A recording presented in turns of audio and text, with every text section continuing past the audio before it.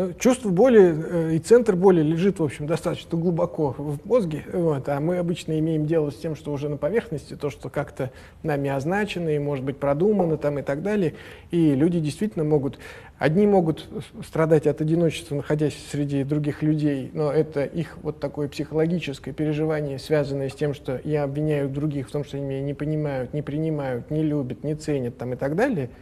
боже мой, я одинок, да, значит, а может быть другое, я могу находиться в реальном одиночестве, вот, но не осознавать, ну, то есть у меня вроде бы есть друзья, ну вот, как бы, у меня вроде бы как-то ко мне неплохо относятся, да, вроде бы я хожу на работу, я там с кем-то даже пью кофе иногда вместе, ну вот, то есть у меня может быть ощущение, что я, в общем, в целом социально интегрирован, но при этом э, для психики, для ее глубинных структур этого недостаточно.